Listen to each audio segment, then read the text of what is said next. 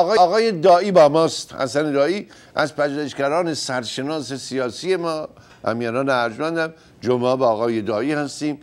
به تکرار این برنامه ها رو می‌تونید روی مردم ریپورت ببینید. آرشیو خود تلویزیون پارس ببینید.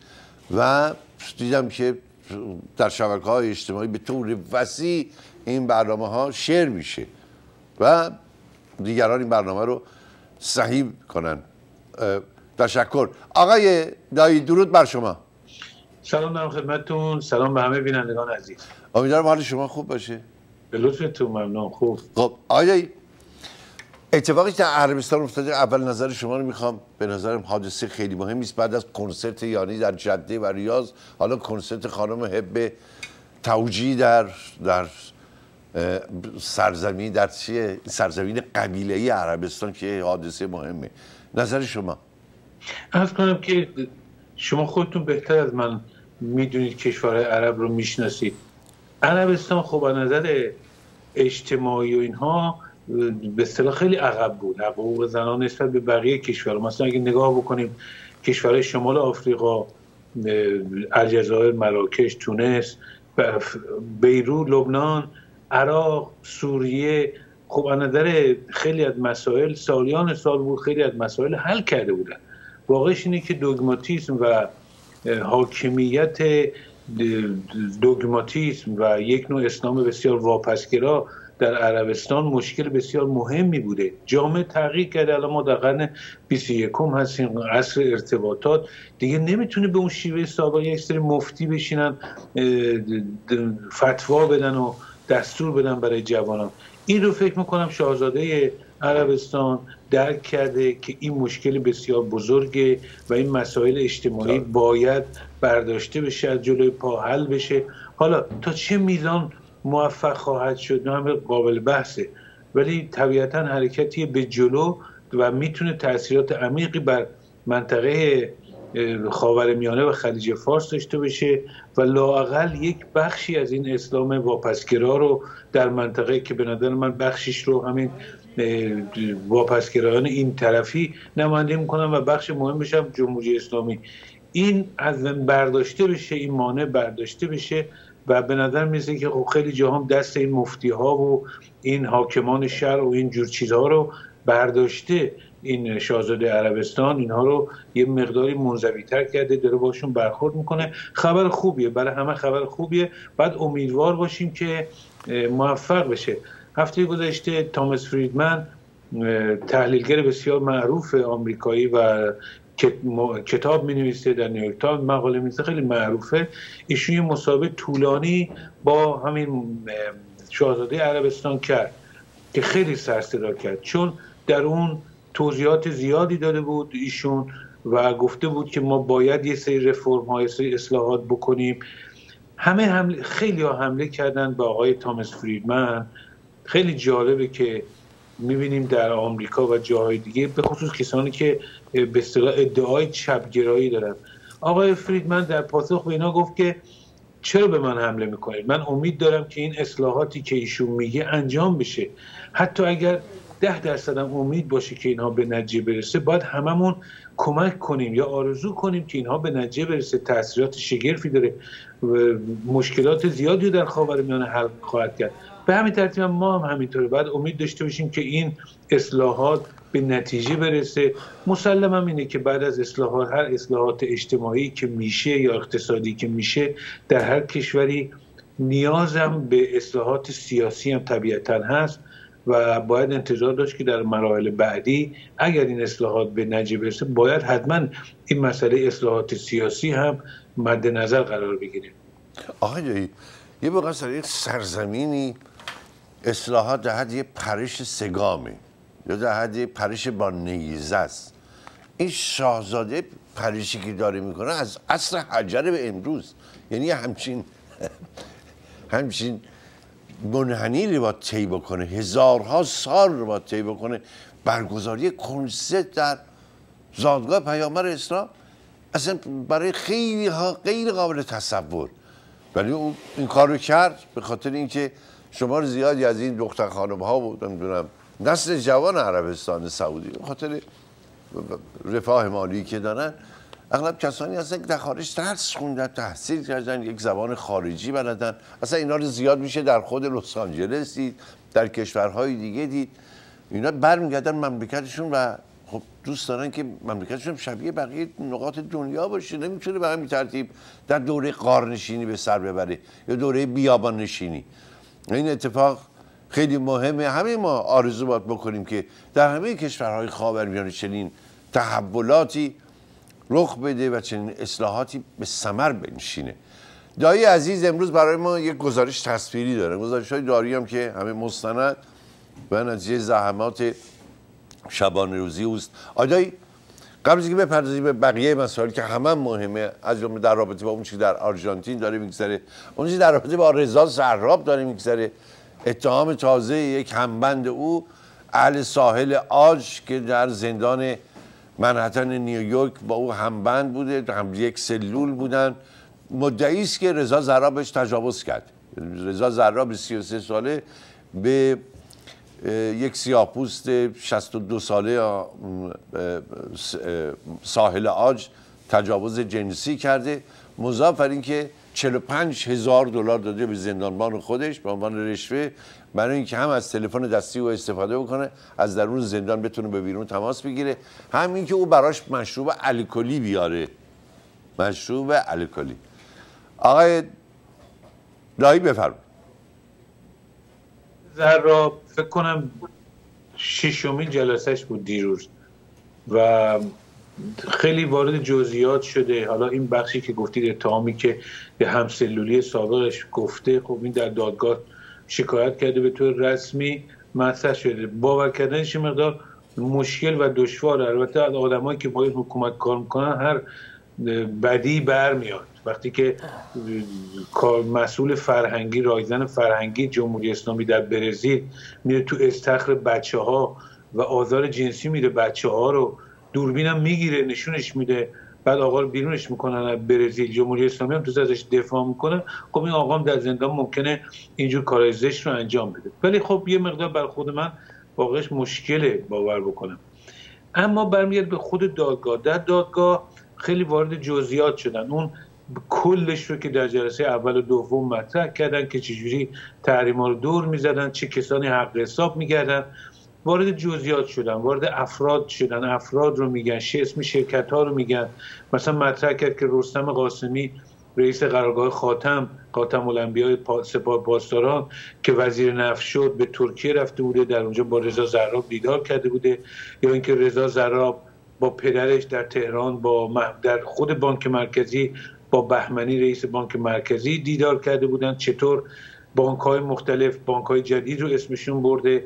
بانک سرمایه پاسارگاد اینها رو اسم می‌بره که چطور اینها کمک می‌کردن به به اصطلاح تحریما چه حق حسابایی می‌گرفتن. مثلا بانک 5 درصد می‌گرفته برای هر معامله خود زراب دو نیم درصد می‌گرفته. این که در یه جا گفت که من 150 میلیون یورو گیرم اومده چون هفته پیش صحبت از 50 صحبت از 100 میلیون بود الان رسیده به 150 میلیون. یه نکته خیلی مهمم این بود که حالا یه سری از افراد ایرانی که کمک می‌کردن و نام می‌برن خانم زارعی و پدرشون رو که اینا تحت تحریم آمریکا هستن شناخته شدن نام می‌بره. تعداد مقدار زیادی از نوارهای مکالماتی که بین خود زرا با وکیلش و دیگران بوده رو در دادگاه پخش کردن. در یه جایی بانک حال که در سال 2003 به خاطر فشار آمریکا و اینها میان جلوی این معاملات و این پرشویی ها رو می‌گیرن. وکیل زراب میره با اردوغان دیدار می‌کنه. در این صحبت ها گفته میشه که ارباب ارباب بزرگ که منظور اردوغانه دستور داده به بانک که دوباره مثل سابق به این کارهای رضا زراب ادامه بدن. یه نکته جالبی در این بود که از تایوان با, با تایوان خیلی کار می‌کردن. این قبلا جایی مطرح نشده بود. خیلی با تایوان کار می‌کردن. بعد یه نکته دیگری که گفت ایشون یه پاسپورت رضا زراب پاسپورت مقدونی کشور کوچک مقدونی مسدونیا که از یوگسلاوی سابق جدا شده رو اونجا رو داشته. از اون طریق بسیاری از تحریم ها دور زده می شده یه نکته دیگه جالبی که گفته شد این بود که چین نقش چین که چطور کمک می‌کرده این پولای جمهوری اسلامی برگرده به ترکیه اونجا به ایران بره. تحت این نام که قرار غذا و این چیزا بخرن. یعنی چیزایی که اجازه داشتن از طریق در قانون تحریما اجازه داشتن مثلا یه سری از پولها رو برای غذا استفاده کنن. این پولها انتقال پیدا می‌کرده به بانک بانک های ترکیه و جاهای دیگه ولی هیچ غذای خریده نمی‌شده. و این مسئولین گمرک ترکیه چین ورقه های جعلی صادر می‌کردن که بله مثلا این میزان از غذا صادر شد به طرف ایران. همه جعلی بوده.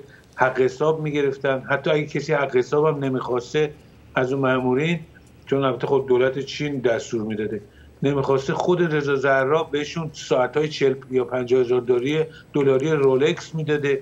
اینها رو به طور خیلی جزئی میگن. ولی در کلش همین بود که چطور عده دزد سرگردنه از خود رضا زراب مسئولین بانکا و مافیاهای جمهوری اسلامی اموال این ملت و مردم ایران رو اینجوری قارت می‌کردن و بین هم تقسیم می‌کردن و در دوره تحریم ها به جیب به خود جیب خودشون رو پر می‌کردن و سعی می‌کردن خریدهای تسلیحاتی و غیره جمهوری اسلامی رو ادامه بدن. و در این مدت هم می‌دونیم که در همه این مدتی که تمام این دزدی ها می‌شد در داخل و خارج تحت نام انرژی هسته حق مسلم ماست. آمریکا داره زور میگه اسرائیل داره زور میگه. اینا جنگ طلبن تحت این پوشش ها سعی می‌کردن بتونن برنامه هسته خودشون که منبع و سرچشمه تمام این مسائل بود رو ادامه بدن. این یه خلاصه از این جنگ جلسه بود و فکر می‌کنم هفته دیگه یک بار دیگه حداقل ادامه داشته بشه بعد شهادت رضا زراب تموم میشه. باید منتظر باشیم که وکیل به اصطلاح اون سه متهم دیگه که یکیشون الان در نیویورک هست اگر سوالی دارم بکنن بحثایی که هست بکنن. ولی پرونده بسیار جدیه. برای یکی از این اتهامات مثلا پولشویی به نفع جمهوری اسلامی و نقض تحریما می‌تونن سی سال زندان به متهم بدن.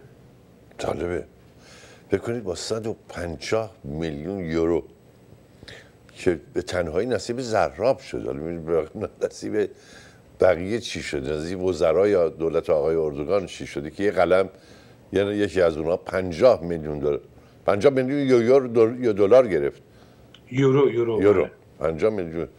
چند تا دانش رو می‌تونستیم بورسیه کنیم؟ ما الان 100 هزار جوان ایرانی داریم در تهران به نام نوشته خود رسانه های جمهوری اسلامی روز گذشته. که درجه پی اچ دی دارن. صد هزار. و بیکارن. و بیکارن. و آقای دایی عزیز هستیم جان امروز یه گزارش تصویری دارید. لطفا توضیحاتی دربارش بدید. ارز کنم که در مورد جمهوری اسلامی خب این مسئله بودی که من سالهاست دنبال می‌کردم ولی دیدم گفتم شاید یه مجموعه این رو جمع آوری بکنم. خلاصه یه گزارش میشه ساعتها راجع به این مسئله گزارش داد. که هموطنان ببینن. تو ما وقتی صحبت از فعالیت های جمهوری اسلامی در خارج می‌کنیم یا صدور انقلاب یا صدور همون اسلام واپسگرای جمهوری اسلامی می‌کنیم صحبت از این میلیشیا هاست گروه های نظامی حتی مثلا جامعه المصطفى تربیت آخوند خارجی و و و مخارجی که می‌کنه. یه نکته که کمتر مورد توجه قرار گرفته این دستگاه رسانه‌ای جمهوری اسلامی در خارج از ایران که عمدتا در خاورمیانه است. بیش از دویست شبکه تلویزیونی ماهواره‌ای و رادیویی دارن. بیش از دویست. و من نمی‌دونم چقدر خرج می‌کنم. واقعا هرچی تلاش کردم که آماری از این باشه که نیست. برای هر یه میلیشیایی در عراق حداقل یک دونه تلویزیون ماهواره‌ای هست. حداقل. مثلا بعد وقتی مثلا برای مثلا سازمان بعد در کربلا یه دونه است. در نجف یکیه. در بغداد یکیه. یعنی آدم باورش نمیشه که چه سیستمی راه انداختن. سیستم هم پروپاگانداست که بتونن افکار جمهوری اسلامی رو ترویج بدن یارگیری بکنن. فعالیت های جمهوری اسلامی در خاور میانه رو توجیه بکنن. تلویزیون اسپانیولی تلویزیون انگلیسی فرانسوی عربی. با این امپراتوری با این شبکه عظیم رسانه‌ای جمهوری اسلامی گفتم این گزارش رو تهیه کنم لاقل به طور مقدماتی ما آشنا بشیم از زبان خودشون بشنویم ببینیم که چه فعالیت هایی می‌کنن چه مخارجی انجام میدن. این یه بحثی که کمتر مورد توجه هموطنان قرار گرفته. گفتم شاید بد نباشه که بابش باز بشه و بحث بکنیم راجع به این مسئله. حتما. تشکر می‌کنم. فکر می‌کنم بهتره که از بازار رو کنیم برگردیم و گزارش رو یک جا به هم گوش کنیم. هم که وقفه درش حاصل نشه. اونم در روزی که اتفاق دیگری افتاده در سطح جهان. فوق العاده عجیب حیرت انگیزه پولی که وجود خارجی نداره. یعنی پول دنیای مجازی بیت کوین که معلوم نیست کی اون رو اختراع کرده. توی بازار سهام ارزشش رسید به 17 هزار دلار. چند روز پیش 9760 دلار بود. ناگهان دو برابر حدود دو برابر شده. یه روز ارزش این پول ده سنت هم نبوده. پولی که هیچ قدرتی برش نظارت نداره. هیچ قدرتی در دنیا هیچ کشوری اونجا به رسمیت نمی‌شناسه. اما رایجه. رایجه. مثل معامله پایا پایه. از طریق این پول تجار سرمایدارها نمی‌تونم و صادر کنندگان وادر کنندگان در سطح جهان بهش معامله می‌کنن. بدون که وجود خارجی داشته باشه. و ارزشش امروز رسید به 17 هزار دلار بیت کوین یادم باشه با یه کارشناس در این زمینه صحبت بکنیم. خیلی جالبه. چینی ها این رو به عنوان کالا می‌شناسن به عنوان پول. چون واقعا معنی پول هم نمیده. وجود هم نداره. وجود خارجی هم نداره. اما دائما داره قیمتش میره بالا. درست بالعکس ریال ما. بنا به گفته آقای امتی نماده مجلس از زمانی که جمهوری اسلامی بر سر کار تا به امروز ارزش ریال 600 برابر کاهش میگم اسفل و سافلین حرکت ما در همه جهات به سمت اسفل و سافلین بسیار حق داری برو عزیزم. بسم الله الرحمن الرحيم السلام عليكم ورحمة الله أهلا بكم وإلى العناوين Hello and welcome to Press TV. السلام عليكم ورحمة الله وبركاته Saludos.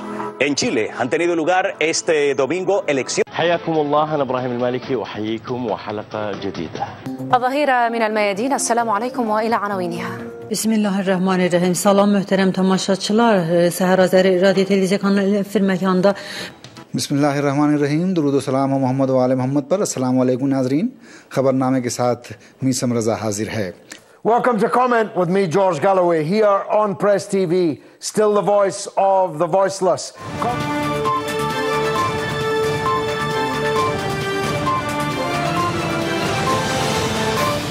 بیش از دویست شبکه رادیویی و تلویزیون ماهواره‌ای دهها نشریه و صدها وبسایت که بخش مهمی از آنها در کشورهای خاورمیانه قرار دارند امپراتوری رسانه‌ای و دستگاه پروپاگاندای رژیم ایران در خارج از کشور را تشکیل می‌دهند رژیم ایران برای صدور انقلاب یا صدور افکار بنیادگرایانه خود و تسلط بر خاورمیانه با صرف میلیاردها دلار در سال از ابزارهای مختلفی استفاده می کند. به کمک سپاه قدس، حزب الله لبنان و دهها های عراقی، افغانی و پاکستانی وابسته به سپاه قدس در کشورهای منطقه دخالت نظامی می کند و با بکارگیری خشونت و ترور نفوذ خود را گسترش می دهد.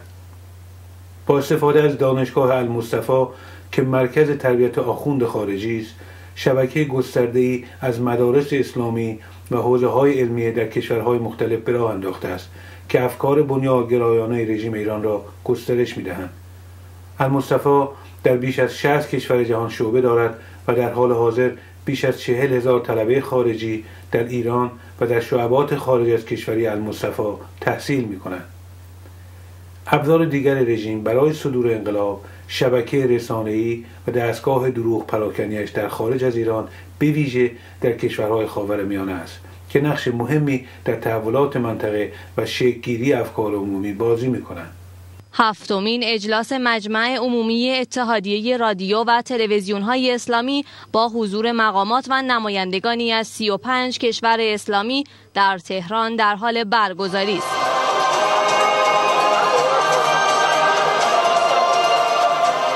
من أي بلد؟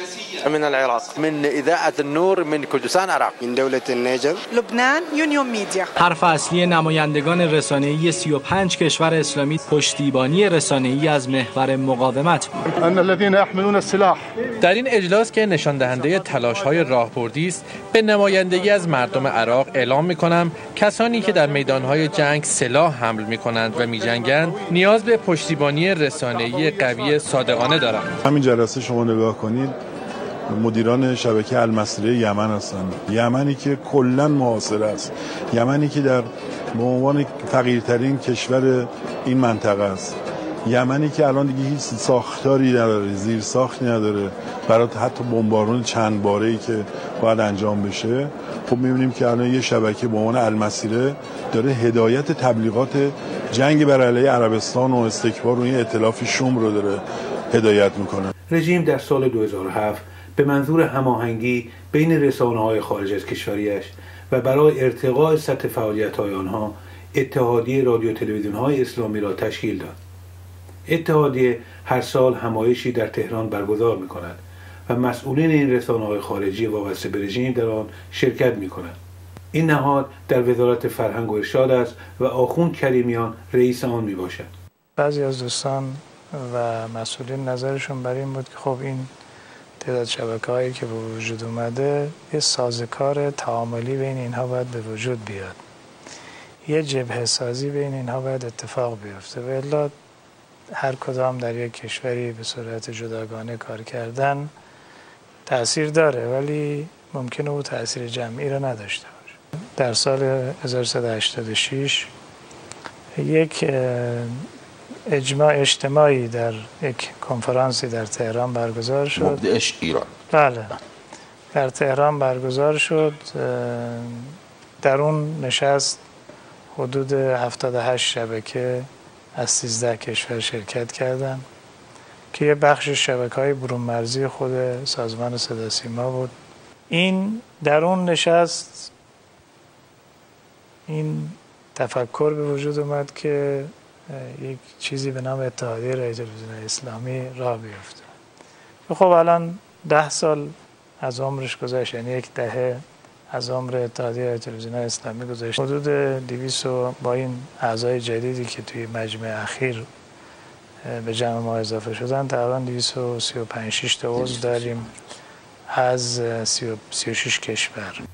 مهمترین عضو اتحادیه سرویس برون مرزی صدا و سیمای جمهوری اسلامی است. که تلویزیون های متعددی در خارج از کشور دارد. مهمترین آنها شبکه عربی زبان ماهواره العالم است. این شبکه تلاش می‌کند در جهان عرب جای پایی باز کند. اما در مقابل الجزیره و دیگر شبکه های عربی زبان موقعیت بسیار ضعیفی دارد. دوم پرستیوی به زبان انگلیسی است که یکی از مراکز مهم آن در لندن است. اما نفوذ زیادی در رسانه های انگلیسی زبان ندارد. سوم هیسپان تیوی به زبان اسپانیولی است که برای مسلمانان آمریکای لاتین یا اروپایی و مهاجرین اسپانیولی زبان در کشورهای مختلف از طریق ماهواره برنامه پخش می کند. چهارم شبکه الکوثر است که بیشتر برنامه های مذهبی دارد و مخاطبین آن در همه کشورهای مسلمان هستند. شبکه سحر صدا و سیما نیز کانال به زبانهای آذری، بوسنیایی، فرانسوی، کردی و اردو دارد. و برای خارج از کشور برنامه پخش می‌کنند. به جز صدا و سیما عضو مهم دیگر اتحادیه رادیو و تلویزیون ها رسانه های وابسته به حزب الله لبنان هستند. مهمترین آن شبکه تلویزیونی المنار است که از سال 2000 از طریق ماهواره برای سراسر خاورمیانه پخش می شود حزب الله یک تلویزیون جدید به نام المیادین نیز از سال 2012 به راه انداخته که با استفاده از گویندگان زن بدون هجاب و شرکت دادن میهمانان مختلف تلاش می کند تا مخاطبین جدیدی پیدا کند.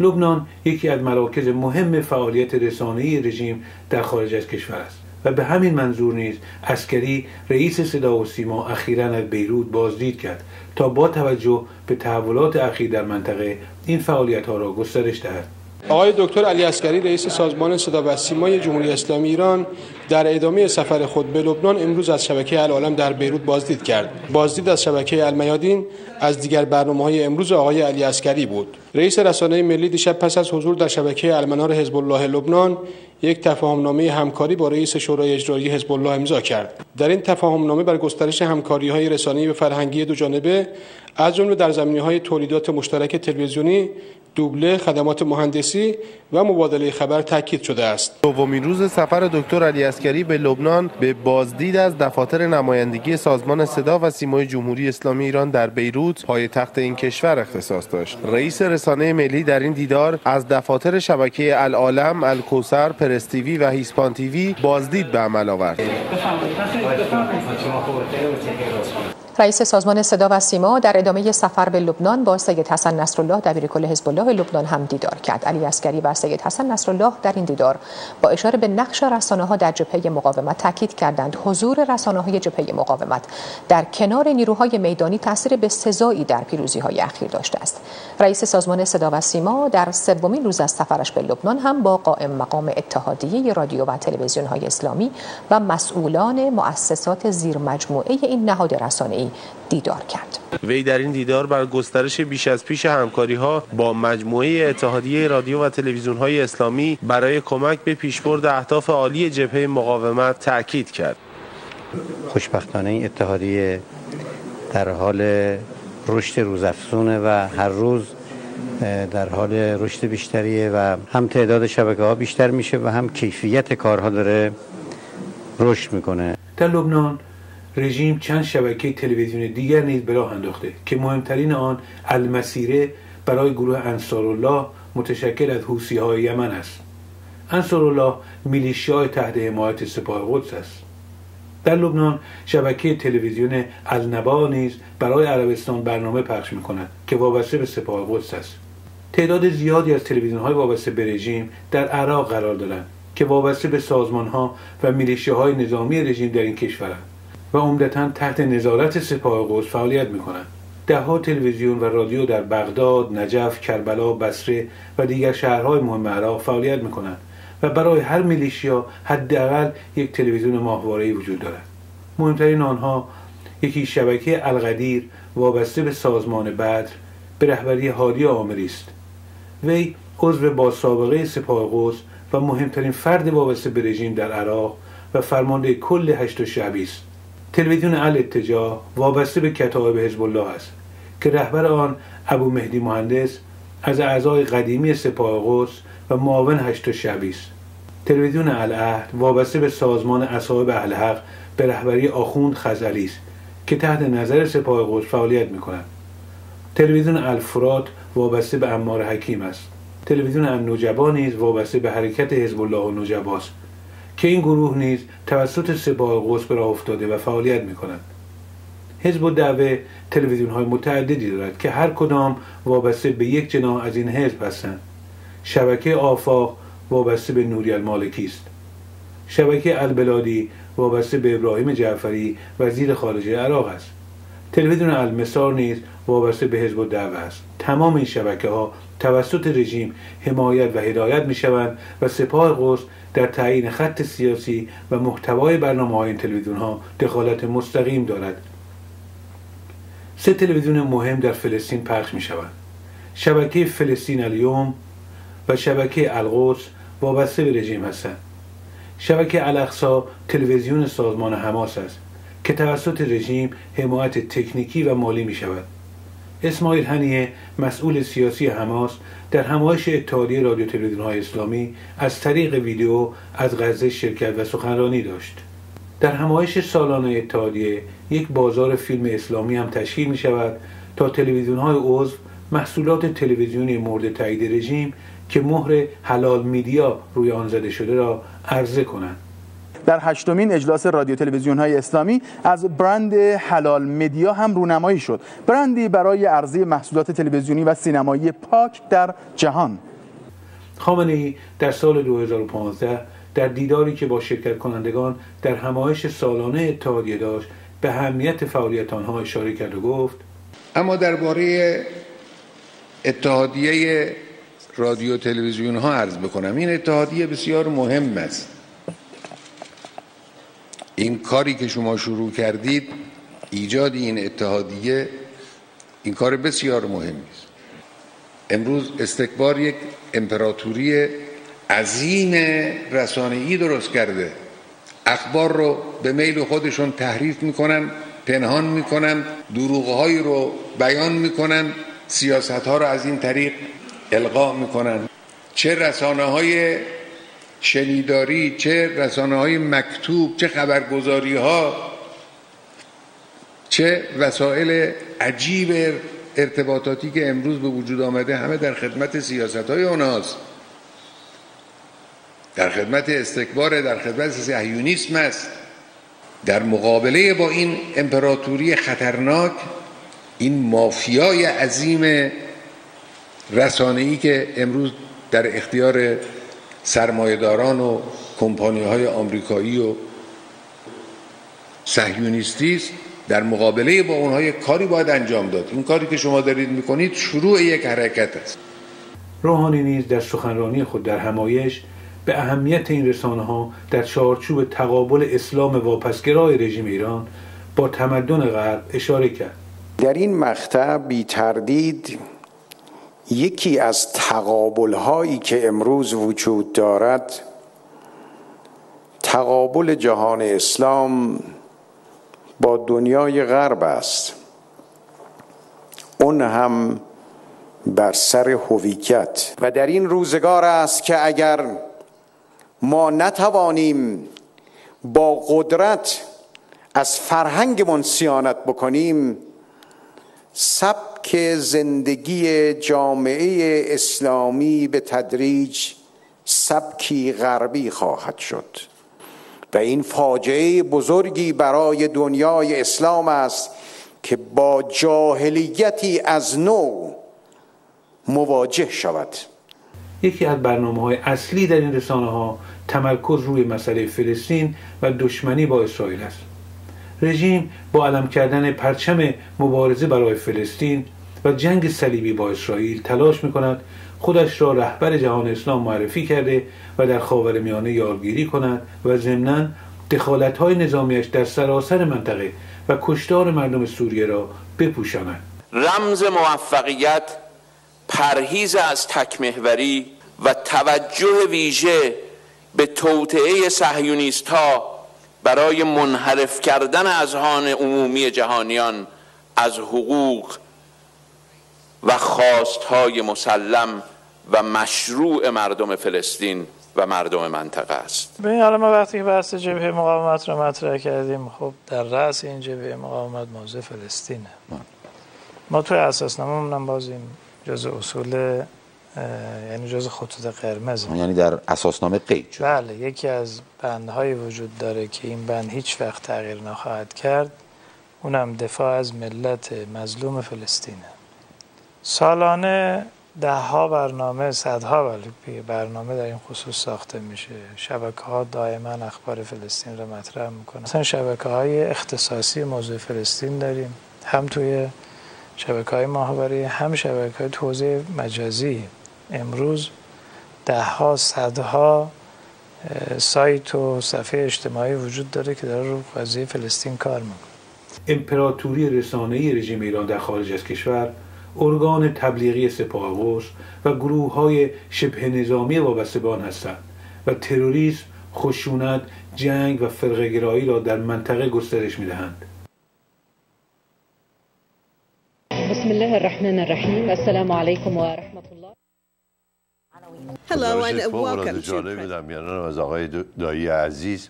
نمی‌دونم این همه مرد زشت در منطقه خاورمیانه اینا چجوری جمع کردن یک جا؟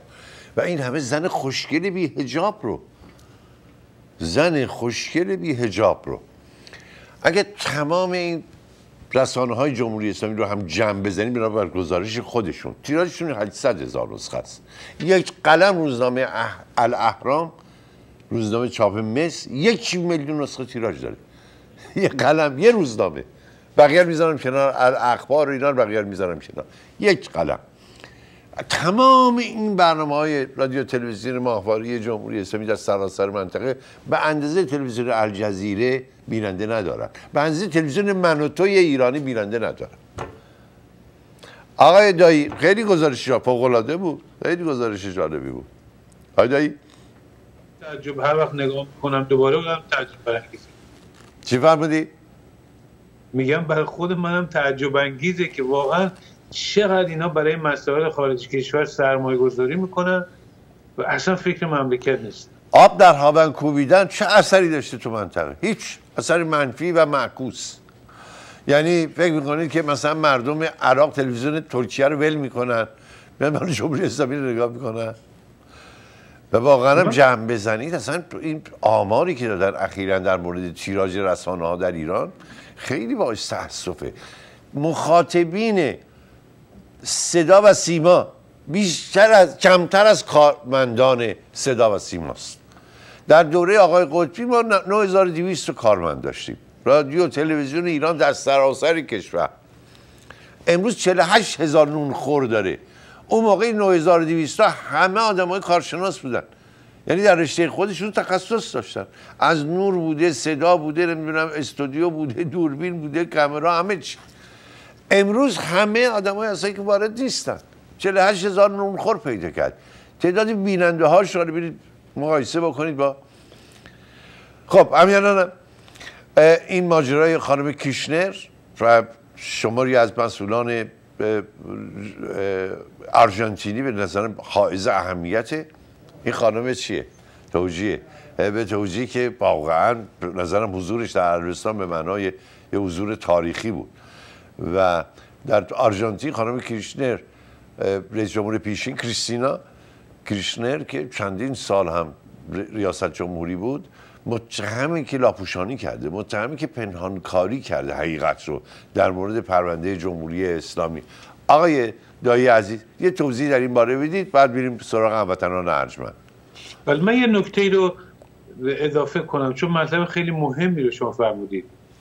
بالاخره این امپراتوری رسانه‌ای که راه انداختن خب که چی مثلا؟ تیراژش چقدره؟ من فکر کنم نکته مهمش اینجاست. اصلا جمهوری اسلامی دنبال این نیست که توده های عظیم در کشورهای مختلف بیان. یه قشر خاصی مد نظرشه. در داخل ایران هم همینطوره. جمهوری اسلامی. چرا جمهوری اسلامی تو نماز جمعه حرفا رو می‌زنن؟ تو تلویزیوناشون صبح شب نگاه می‌کنید ببینید حرفایی که می‌زنن حرفای واپسگرایانه. اصلا مخاطب اینا کل جامعه نیست. نه در ایران نه در منطقه. چون می‌دونن نمی‌تونن اونا رو جذب بکنن با این افکار. اینا دنبال یه قشر خاصی هن. دنبال یه درصد خاصی هن. حجمشون هم بسیار درصدشون هم کمه. ولی دنبال یه مش واپسگران چه داخل ایران چه در منطقه. اصلا سیاست ها اینا سیاست های واپسگران است. اینا دنبال آدم های مدرن امروزی نیستن که بخوام برنامه های اونجوری پخش بکنن. تعداد براشون مهم نیست. می‌خوان از میون این واپسگرایان مذهبی یارگیری کنن. این تلویزیون برای این راه انداختن. در داخل ایران هم این حرفا رو وقتی می‌زنن خب برای ما تعجب برانگیزه که آقا این حرفا رو این حرفای عجیب و غریبی که روایت اومد که نمی‌دونم امام جمعه قوم وقتی میاد رسما میاد تو تلویزیون امام جمعه سابق تا پارسال امام جمعه بود. که خامنه ای وقتی متولد شد فریاد زد موقع که بچه آشکم مادرش اومد بیرون فریاد زد یا علی. خب این حرفا که مردم میخندن که. ولی اینو برای مردم نمی‌زنه که. برای اون پنج تا در درصد طرفدار خودش می‌زنه که از اونا یادگیری کنه. بگه خامنه ای اصلا فرستاده خداست. تو منطقه هم همینه. یه بخشی تو نجف و کربلا و سامرا دوروبر زینبیه یه بخشی تو دره بقای لبنان دنبال ایناست. دنبال اینا با این تلویزیون ها اینا رو می‌خواد جذب کنه تلویزیون هم که تو اروپا یه مش عذر می‌خوام چپ هایی که اسم چپ گذاشتن رو خودشون تو این تلویزیون هیسپان تیوی رو پر کردن تو پرس تیوی رو پر کردن اینا دنبال ایناست وگرنه دنبال درصد نیست دنبال اون کیفیت خاصی که خودش دنبالشه خب امیانان ارجمند از این لحظه برنامه اختیار شما سی شماره تلفن ماست 818 342 3031 از بازار آگهی عبور می‌کنیم برمیگردیم با شما خواهیم بود. امروز سارا خانم عزیز با ما نیستن. دلیلم اینی که از روز گذشته بهشون اختار کردن در محلشون که بق خواهد رفت. دانشه ارتباط ایشون از طریق اینترنت تلفن همه قطع میشه. الان اینجوری شده که وقتی تر برق میره دیگه نه شما تلویزیون داری نه رادیو داری نه تلفن داری تلفن خونم قطع میشه دیگه. و چون همه چیز یه جوری به کامپیوتر ارتباط پیدا کرد به اینترنت ارتباط پیدا کرد. و روی می رویم و برمیگردیم در یه روز تاریخی روز مهم اینا همه روزهای تاریخی است. هر روز. برای منطقه خاورمیانه روز تاریخی است. این عبور آقای ترامپ از خطوط قرمز دنیا رو به دو بخش تقسیم کرده شکاف انداخته گروهی که از اون حمایت می‌کنن او رو ستایش می‌کنن. مثلا نشریه بیل دیدم که تیت زده که این کار درست تاریخی بود. یعنی ترامپ در سمت درست تاریخی ایستاده. در که نشریه اشمیگل از این به عنوان نوعی استقبال از ریسک یاد کرده. یا خانم مرکل میگه این موضعی است که ما نمی‌تونیم ازش حمایت بکنیم. اما در عوض یهودیان سراسر جهان خیلی خوشحالند و تحسین می‌کنن آقای ترامپ رو به خاطر شهامت و تحورش در که برخی در اندونزی در مالزی همینطور در تهران و در فلسطین. گویا قراری که دیداری هم داشته باشه. آقای مک پنس معاون رئیس جمهوری با آقای محمود عباس. ممکنه که این قرار به هم بخوره. آمریکایی هشدار دادن که این کارو نکنید. به هم خوردن این قرار به سودی کسی نیست. گفته آقای کوشنر طرحی داره برای ایجاد مناسبات حسنه بین اسرائیل و فلسطینی ها و اینکه اینا بتونن مذاکرات صلح رو آغاز بکنن تر هنوز رو نیامده. یعنی هنوز روی میز نیست ولی آماده شده. باید ببینیم که استراتژی آمریکا از این پس چه خواهد بود. بله با آقای دایی هستیم. از این لحظه برنامه در اختیار شماست. آقای دایی اجازه میدیم سراغ بله. هموطنان؟ بله حتما حتما. بسیار عالی. درود بر شما بفرمایید. درود بر شما جناب آقای مهبودی. و مهمان برنامهتون. آقای. دایی یک سوال داشتم از حضور ایشون بفرمایید. در ارتباط با اینکه آقای ترامپ و رئیس جمهور یک کشور بزرگی مثل آمریکا اعلام کرد که دارالسلام یا اورشلیم می‌تونه پایتخت اسرائیل باشه. خب طبیعتا حرف ایشون در تمام دنیا بازپخش شد. می‌خواستم نظر آقای داعی رو بدونم در مورد اینکه اگر اپوزیسیون ایران از آقای ترامپ بخواد که رژیم منحوس جمهوری اسلامی رو غیر قانونی بشماره به دلایل مختلفی که ایشون در سخنرانی های مختلفی هم گفته این چقدر می‌تونه باستاب داشته باشه در اینکه این رژیم ضعیف بشه و بتونه نقش عمده ای در چنج رژیم داشته باشه. خیلی متشکرم. تشکر آقای دایی بفرمایید. ارز کنم که سوال مهمی هموطنان گفتن. یکی اینکه خود اظهار نظری که آقای ترامپ کرده چون همطور که آقای مبودی شما اشاره فرمودید از سال 95 کنگره آمریکا اعلام کرده بود که اورشلیم پایتخت اسرائیله. و رؤسای جمهور قبلی هم می‌گفتن. ولی واقعش اینه که رو مسلحت سیاسی نمی‌کردن. چون بالاخره واقعش اینه که در اون سرزمینی که قبلا فلسطین بوده الان هم اسرائیل بخشش در اون هست بالاخره یه فلسطینیانی هم وجود دارن. مسئله این که بالاخره این مسئله فلسطین هم باید حل بشه. اینا چیزای واقعیه. حالا اینکه آمریکا ابرقدرت و اسرائیل هم زور داره بیان بگن خب اورشلیم هم مال شما. خب اورشلیم که الان که تحت کنترل اسرائیل هم بوده. خب رو ورق کاغذ چی تغییر کرده؟ تا وقتی صلح نشه تا مثل مسئله فلسطین حل نشه که خب حالا گفتنش چه فایده ای داره؟ بنابراین رو مصلحت نمی‌کردن برای اینکه یه واقعیتی وجود داره. بالاخره اون مردمی که به نام فلسطین اونجا بودن یهودی هم بودن اونا هم همونطور که اونها در اون سرزمین حق دارن فلسطین هم حق دارن. آیا حقی برای فلسطینی اونجا قائل هستن یا نیستن؟ بالاخره تو این وسط. خب تو به کرانه باختری که شهرک نشینی هم ادامه داره. معلوم نیست کجاش مال ایناست. ادامه داره. توافق کردن که بیشتر از 3 تا 5 درصد نرن. هی دارن میرن. اورشلیم هم که مال اونا پس هیچ حقی ندارن. حالا درسته ما با اینکه جمهوری اسلامی رو استفاده می‌کنه از این مسئله درسته که ما میگیم آقا حتی ما ایرانی ها در برخورد با مسئله فلسطین جا و اندازه رو در رابطه با منافع ملی ببینیم. ولی بالاخره به معنا نیست که کاری که آقای ترامپ کرد درسته. دومی که اثرش چه اثری داره این کاری که کرده ایشون؟ من می‌خوام واقعا ببینم کسانی که مخالفت کردن چه اروپایی ها چه داخل آمریکا میگن خب چه فایده ای داره این کاری که شما کردی؟ غیر از اینکه تضاد دار یه سری تشدید کردی چه من فایده ای نمی‌بینم. من هیچ فایده سیاسی نمی‌بینم برمیگرده به کشور خودمون. اون چیزی که خیلی مهمه اینه که مردم واقعا حس می‌کنن. مردم ایران وقتی ببینن که آمریکا و دنیای جامعه بینالمللی از سیاست مماشات دور شده دور شده طبیعتا مردم رو تقویت می‌کنه. مثلا اگه 8 9 سال پیش که مردم تو خیابون بودن واقعا اگه آقای اوباما میومد می تایید می‌کرد این جنبش مردم رو می‌دونید چقدر تاثیر میگذاشت؟ چه تحول بسیار مهمی بود. بنابراین بسیار مهمه اینکه آمریکا چه کار بکنه چه اثری بذاره. این که به نظر من در من مورد مسئله فلسطین اشتباهه برخلاف که در مورد ایران فکر کنم اثر خوبی خواهد داشت البته باید همراه با سیاست باشه. اینه که اتفاقا باید چه در مورد فلسطین چه در مورد اورشلیم چه در مورد ایران باید در چارچوب یک سیاست منسجم باشه آخه وقتی آقای ترامپ در سوریه کاملا واگذار کرده به پوتین رفته قرارداد بسته ایشون موقعی که در ویتنام تشریف داشتن می‌خواستن برگردن با آقای پوتین و ایشتن امضا کردن که تا پنج کیلومتری بلندی های جولان یعنی نزدیک اسرائیل می‌تونه جمهوری اسلامی از نظر نظامی حضور داشته باشه. داد اسرائیل در اومده.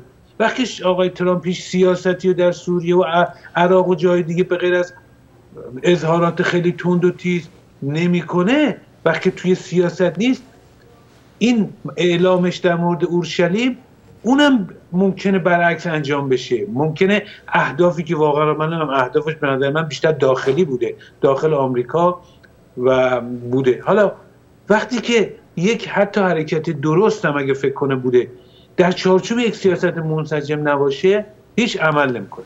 در مورد ایران هم این که از سیاست مماشات آقای اوباما دور شدیم بیان از اپوزیسیون از همه اپوزیسیون اپوزیسیون دموکراتیک ایران حمایت بکنن کار خوبیه.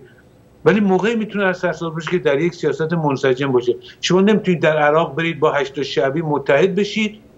موقع که هشت شعبی می‌خواد حمله کنه به کردستان عراق شما یا سکوت کنید یا تلویحا تایید بکنید. در سوریه دست جمهوری اسلامی بار بذارید. در لبنان هم هیچ کاری نکنید. همه جاها دست جمهوری اسلامی باز بذارید و در ضمن بیاد حرفای تون بزنید. حرف موقعی اثر داره که در چارچوب یه استراتژی درست باشه. این انتقاد من به سیاست های آقای ترامپ. در پایان یه چیزم اضافه بکنم. ببینید آقای میبوری عزیز از کردم ایشون رئیس جمهور آمریکاست. ما باید استقبال بکنیم که حرکت های خوب و مثبت رو تایید بکنیم. دیگه انتخابات هم تموم شده. ما دیگه به از گریبان گرفتن این و آن دیگه باید بیایم الان ایشون رئیس جمهور رفتار و کردار و گفتارش می‌تونه تاثیر داشته باشه. ما بعد اما آن چیزی که باعث نگرانی من همیشه این بوده که سیاست های نادرست نادرست و نسنجیده در خاور میانه اتفاقا به جمهوری اسلامی ضربه نمی‌زنه. به نفع جمهوری اسلامی تمام میشه کاری که آقای جورج بوش کرد. آقای جورج بوش اهل مماشات با جمهوری اسلامی نبود. ولی حمله ایشون به عراق سال 2003 بزرگترین خدمتی بود که در 40 سال اخیر کسی به جمهوری اسلامی کرد. جالبه که در دو بار دو نوبت بعد از سال 2000 به فلسطینیا پیشنهاد شد که آقا بیاد این شهر اورشلیم رو بگیرید مال شما. 98 درصد سرزمین های اشغالی رو بگیرید. رهبران وقت فلسطین قبول نکرد. امروز فلسطینیا حسرت می‌خورن که چرا رهبران وقتشون به این پیشنهاد پاسخ منفی دادن. به هر حال حالا پیشنهاد حتی اگه مینیمال هم بوده که نبوده ماکسیمال بوده. هر چه باشه به نسبت طرحی که امروز وجود داره. این دیگه وقتی سیاستمدارهایی سیاست های غلط اتخاذ می‌کنن متاسفانه اثراتش رو پیامدهاش رو پیامدهای منفیش رو نسل های بعد با تحمل بکنن نسل امروز فلسطینی احساس قبل نمی‌کنه. خودش رو مقبون می‌تونه و لعنت میفرسته به اون رهبرانی که تابع قدرت های منطقه‌ای بودن تابع قذافی بودن تابع صدام بودن تابع کشورهای منطقه بودن و سعی می‌کردن به پایه منافع اونا عمل بکنن در کارزار جهانی. میریم روی خطوط. تلفن خط شماره یک. درود بر شما بفرمایید. الو. هم بفرمایید. آقای بودی وقتتون بخیر قربان شما. درود بر شما. بفرمایید. کنم خدمتتون که من راجع انتخاباتی که آقای به پرزیدنت ترامپ داشتم مسئله که می‌تونم میگم به عنوان یه ایرانی مسیحی اینه که آقای دایی همه اون ادعاهایی که به اصطلاح دنیای اسلام داره راجع به اورشلیم ولی که حضرت محمد یه خواب و یه رویا دیده که از اونجا رفته اورشلیم و از اونجا مثلا رفته به آسمون هفتم. و حالا اینا این حقوق هزار و چند ساله که برای خودشون ارزش قائلن که میگن قبله اول ما اورشلیمه حالا اگه اینطوری باشه من یا شما یا آقای مهبودی فردا صبح می‌تونیم بلند شما ادعا کنیم که آقا ما هم خواب دیدیم دیشب رفتیم مکه یا نیویورک یا لندن یا هر جای دیگه. بنابراین از این تاریخ به بعد چون ما یه رویا دیدیم اونجا مثلا داره حق ها و گل هستیم. حالا تو مکه لندن نمی‌دونم هر کجا. ببینید اسلام تنها مذهبیه که غیر از اینکه پایتخت مذهبی خودشو داره هزار چند صد ساله که ادعا داره که رو اورشلیم اینا حق و حساب دارن فقط روی رویایی که مثلا حضرت محمد دیده. از اون اگه بخواین حساب بکنی اورشلیم منمان یه تاریخ چند هزار ساله حالا چه تاریخ که مربوط به یهودی ها میشه چه تاریخ مربوط به مسیحی ها میشه هزار چند صد ساله که اینا انقدر برباری مذهبی دارن که روی خرابه های معبد آیون مسلمان ها اومدن یه مسجد درست کردن همه هم این مسئله رو تحمل کردن و انواع اقسام مسلمان ها میرن میرن اینجا زیارت. در صورتی که حالا چه توی مکه چه توی مشهد چه نمی‌دونم کربلا و نجف. آیا تا حالا اتفاق افتاده یه کلیسا یا کنیسه یا یه معبد مثلا زرتشتی یا هر چیز دیگه کسی دقیقه داده باشه درست بشه؟ بنابراین اگه شما به اینجوری نگاه می‌کنین که حالا فلسطین یا دنیای اسلام ادعا داره که آقا اورشلیم قبله اول ما اصلا این حرف نه منطق می‌خونه. و نه اصلا هیچ مذهب دیگه اومده ادعا کرده که آقا من دو تا پایتخت مذهبی دارم. این این برای قضیه رو حساب بکنید. از اون برای شما فکر می‌کنید به نفع جمهوری اسلامی میشه من تعهد به هر دو شما میدم به لحاظ فردی خودم که نه تنها نمیشه بلکه آقای ترامپ اومده اتفاقا به مسلمانان کمک رو کرده که آقا این این داستانی که شما دارید اینو دیگه باید فراموشش بکنی. بعد تشکر کنم ممنونم. آقای لایی تا زمانی که جغرافی های دنیا مذهبی تعریف میشن مشکل همیشه وجود داره. توی دنیا هستیم به هم مرتبطه. آجایی بفرم ارز کنم که نکته مهمی رو شما در پاسخ گفتید که من اصلا راجع به این مسئله صحبتم از کجا در مورد اسلام یا یهودیت اومدم بحث کنم؟ یا اینکه مثلا اسلام اون سرزمین می‌خواد نه مال یهودی هست. اصلا اتفاقا این خمینی بود که اومد با روز قدس حرفی که خودش زد. ابراهیم یزدی گفت گفتش که ما گفتیم مسئله فلسطین بکنیم میشه مسئله اسلامی. اومدیم روز قدس رو انداختیم. چون واقعش اینه که خب رهبری فلسطین در اون موقع سازمان آزادی بخش اصلا مذهبی نبودنش کدوم. عدیاس عرفات و جورج هوش و همه بگیرید. دوران جنگ سگ و چپ بودن بحثی هم که من کردم اصلا بحث مذهبی نبوده که حالا جالبه که این هموطنانی که دشمن خونی اسلام خودشون معرفی می‌کنن و مذهب همه شدن مدافع حقوق یهودیان. اونم دست راستی ترین بخش یهودیان چه در اسرائیل و چه در آمریکا. اینش دیگه خیلی خنده داره. از اسلام واپسگرا رفتن طرفدار یهودی واپسگر افراطی شدن در خیلی هم موارد که خیلی بدتره. یا همسط هم. دیگه بدتری نداره. این همه. اما حرفی که من می‌زنم بابا من میگم فلسطین بالاخره اونجا یه آدمایی زندگی می‌کنن همین الان در تمام اون منطقه که یهودیان و فلسطینیان هستن هر اسمی دوستایی دوش بذارید. اکثریت با فلسطینی هست. اکثریت با فلسطینی هست کلش. حالا سوا اینکه میلیون ها فلسطینی در اردن و لبنان و جاهای دیگه آوارن که هیچ حق حالا این عربایی هم که همه ادعای حمایت می‌کنن از فلسطینی ها یه پاسپورت به اینا نمیدن. حقوقی براشون نه در لبنان قائلن نه در اردن. هیچ جا. می‌خوام بگم بالاخره اون مردم فلسطین هم یه حقوقی دارن. یا چون از زور ندارن یه ابر قدرت پشت اسرائیل هر کار دلش حرف من اینه. ولی تمام اینا که میگم میگم به اندازه خودش. به اندازه خودش. مسئله فلسطین ظلمی که به مردم فلسطین میشه ما باید بگیم ولی در اندازه خودش. جمهوری اسلامی مسئله کرده مسئله شماره که خارجی ما ملی ما. که بتونه سوارش بشه. هم در داخل هم در منطقه. ما اینو نباید اجازه بدیم. ولی چون اینو اجازه نمیدیم یعنی چی؟ یعنی هر کاری که اسرائیل که یا یهودیان افراطی کردن در اونجا یا آقای ترامپ خواست بکنه که تردید نکنید کاری که آقای ترامپ کرده نه برای دفاع از اسرائیل نه اینا. بخش مهمی از کریستیان ها و مسیحیان افراطی آمریکا که پایه اجتماعی آقای ترامپ رو تشکیل میدن از این کار خوششون میاد. انتخابات آلاباما هم هفته دیگه است. اینا همه به هم ربط داره. آقای مایک پنس طرفدار اون بخشن. شما فکر کنید برای چی بخشی زیادی در آمریکا با آقای ترامپ علیرغم رفتاری که داشت رأی دادن؟ که بله ایشون میاد. تو دیوان عالی کشور یه قاضی می‌ذاره. که مثلا ضد سخت جنینه. به خاطر اینکه اون بخش از مسیحیان افراطی طرفدار این بودن. ما بیام از اینا دفاع بکنیم. هموطنان که خیلی طرفدار خیلی ضد دینن میان از سیاست هایی از بخشی ما از سیاست های خوب آقای ترامپ بیام دفاع کنیم. نه که اون بخشیش که برای راضی کردن مسیحیان افراطی اینجا یا یهودیان افراطی اونجاست. ما نباید اجازه بدیم این مسائل این بحران ها مثل حمله که آمریکا به عراق کرد. حالا من بگیم صدام حسین خوب بود یا بد بود. آقا مسئله اصلا بدی صدام حسین نیست. صدام حسین دیکتاتور بود. ولی آخه این کار چه فایده ای داشت؟ تشکر. این کار من می‌خوام بگم اینه از نظر من اینه. تشکر می‌کنم. از حالا امیانه اتفاق افتاده دیگه. از حالا مهم اینه که استراتژی آمریکا در مورد مسئله خاور میانه چیه؟ چطور می‌خوان مشکل رو حل بکنه؟ این مهمه. این الان به نظرم آیز اهمیت باید ببینیم که سیاست راهبردی. از چه قراره؟ اون طریق آقای کوشنر داره. چیه؟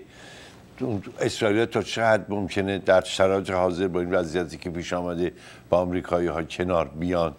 آیا وقتی گفته میشه که اورشلیم پایتخت اسرائیلیه آیا شرق اورشلیم برای فلسطینی ها در نظر گرفته شده یا نشده؟ اینا سوالاتی که بعدا با پاسخش خواهیم گرفت. کاش پیش از این پاسخش رو می‌گرفتیم. و از اهمیت قضیه در اقداماتی که از این پس صورت می‌گیره. اگر پشتش یک سیاست باشه سیاست راهبردی محکم و اثرگذار باشه عالی. ولی اگر نباشه اون وقت ممکنه خلایی که ایجاد میشه بعض رو خیلی بدتر از این بکن آیا خیلی تشکر می‌کنم از حضور شما.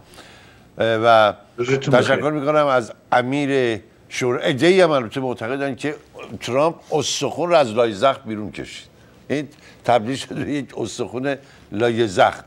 حالا باید ببینیم این کشیدن بیرون به موت این جسد منتهی میشه. این اندام یا نه یا ممکنه که اثرات خوب داشته باشه. همه موکول به این میشه که ما ببینیم این سیاست گذاری ها در آینده چه نتایج چه ثمراتی خواهد داشت. تا دیدار دیگر برنامه دیگر.